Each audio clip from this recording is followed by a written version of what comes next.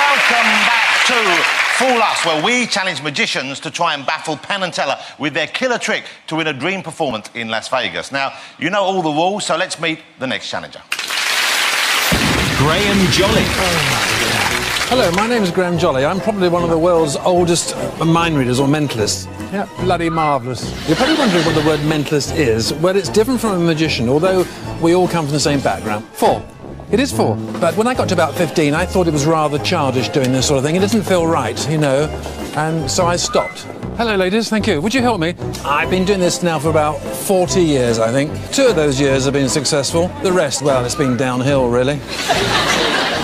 I used to be the world's fastest mind reader, but now I'm sort of slowed down rather. I've now become one of the oldest mind readers in the country. I'm nearly 66 now, and people think I should pack up, retire, and spend more time with the family. Thank you. I don't want to. Have you seen my wife?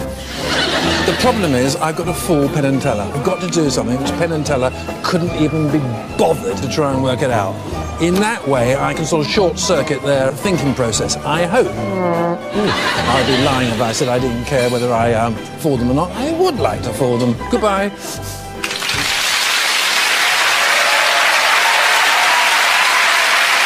If you ever wonder what would happen if Basil Fawlty had gone into magic, I think we're about to find out. Will you please welcome Graham Jolley?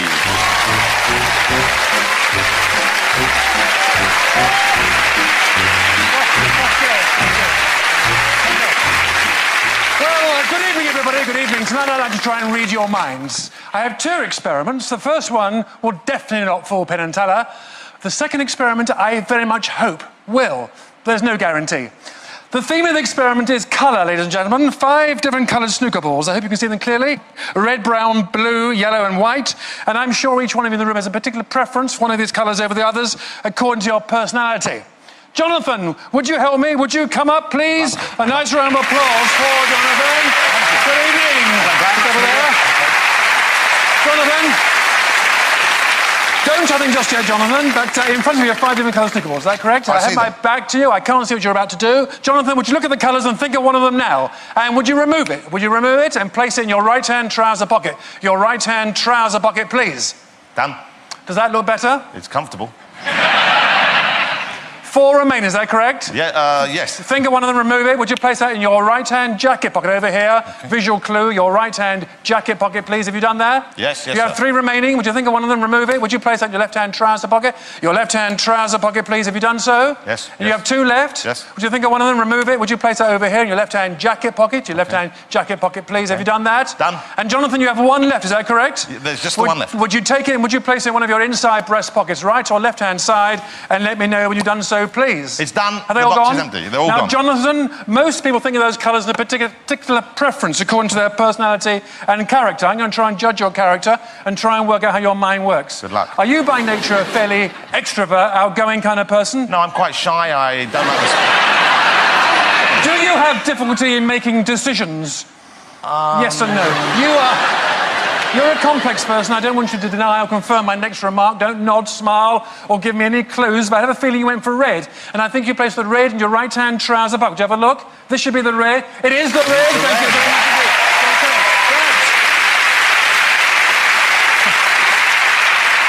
left you with a choice of just four colours. You're the kind of man, I think you are. You're the kind of man who, after a hard day at the studio, likes to get home, put on some music, pour yourself a drink, and put on women's clothing. Sometimes. You used to. And um, I'm not sure, but I think you went for brown. I think you placed the brown in your right hand jacket pocket. Have a look. It is I the did. brown. Thank you very much indeed. Jonathan. Thank you for that round of applause. Now that left you with a choice of just three colours. Yes, sir. Have you, in the last two or three years, ever seriously, I mean seriously, considered committing a criminal offence against Piers Morgan? Well, on a daily basis. Who hasn't? Interesting response. I think you went for blue. And I think you placed the blue in your left hand trouser pocket. Do you have a look? It is the blue. Blue is. Thank you very much indeed. And that left you the choice of just two colours. Jonathan, don't tell me which, but just say yes or no. Can you remember your next choice? Not really. You Can I have can't. a little. Let me have a look. Uh, no, don't look. Don't look.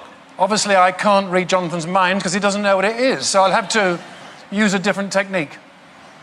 Guessing. I think you. probably went for yellow. And I think you placed the yellow in your left-hand jacket pocket. Have a look. Yellow Here's the is. yellow. I And the know. white. The white's in your breast pocket. There it is. In the box. Thank you so much. Thank you. Thank you.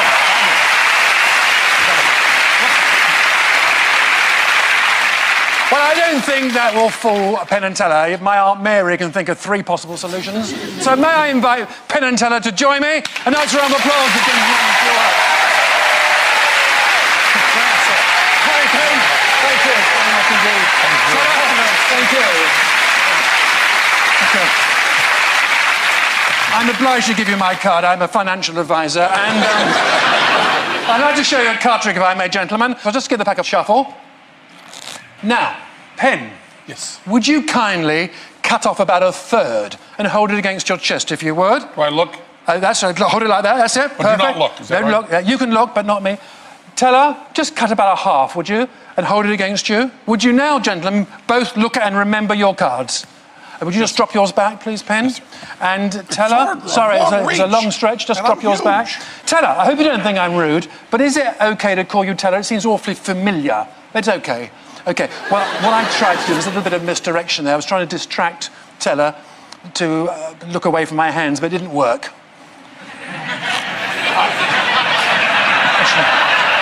I find it quite irritating, actually, and um, I don't like your attitude. No, no. I'm joking. Forgive me. I've reversed two cards in the pack. The Jokers. Were they your cards? Did either of you choose the Joker? No. I- I okay. not. Okay, because the Jokers will tell me where your cards are.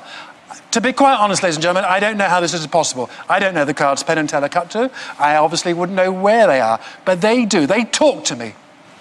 You'll find this interesting. And um,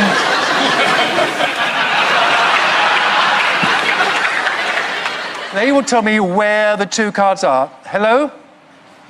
Can you speak clearly, please? It's not Channel 4. And um, it's where? The 18th card from the top. Thank you so much. And um, us, Joker will tell me where your card is. Ah, that's clearer. 43rd.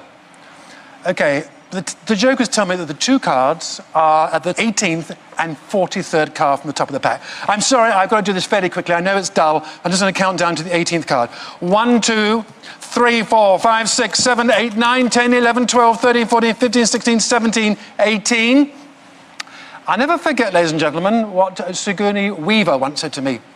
She said, Who are you? I'm trying to make this entertaining. And um,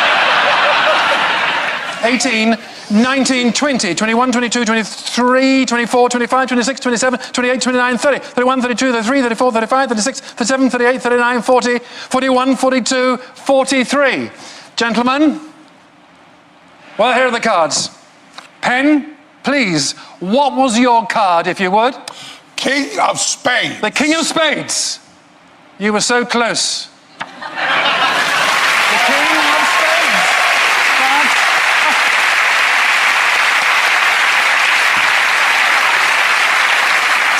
Teller, you better just nod. Was your card the Five of Spades? Yes. Thank you so much.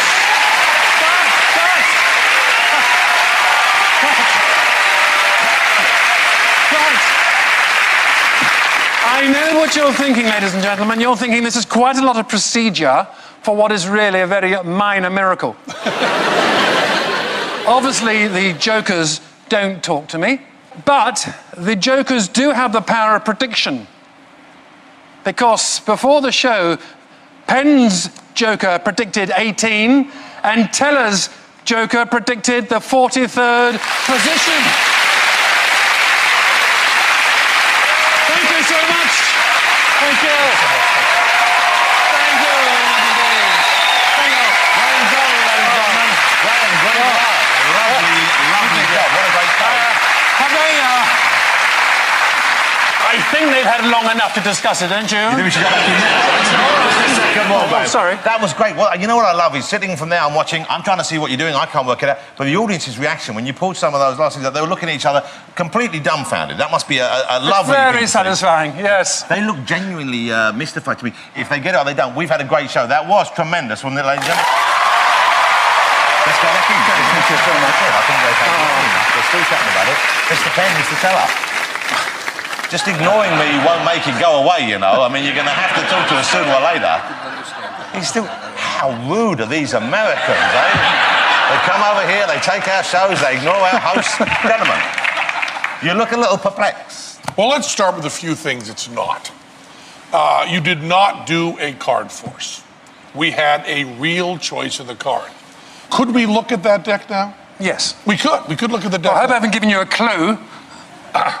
So um, there is not, as you can see, these. This is a, as far as I can tell, I haven't eaten. this is a. Uh, this is a regular deck of cards. There's not a bank. You could have had a bank of king of spades uh, a third of the way down. I was going to use that method, actually. But you didn't. Gosh, but yes. you didn't. I get the feeling. So you are, you, are you just fishing here? I'm not do you know fishing. you're I'm telling you what it what it couldn't be. Yeah. I'm building him up. Are you? Because Thank you. it's so great. Okay. So I think by doing all of that with no force and no deck switch, you might know what my next words are going to be. I believe, Graham, you fooled us. You-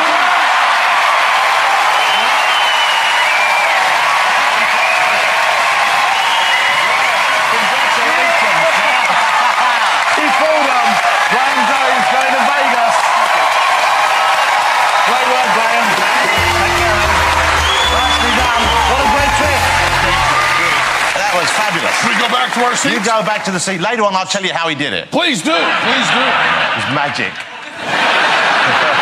Now, don't go away because after the break, Mr.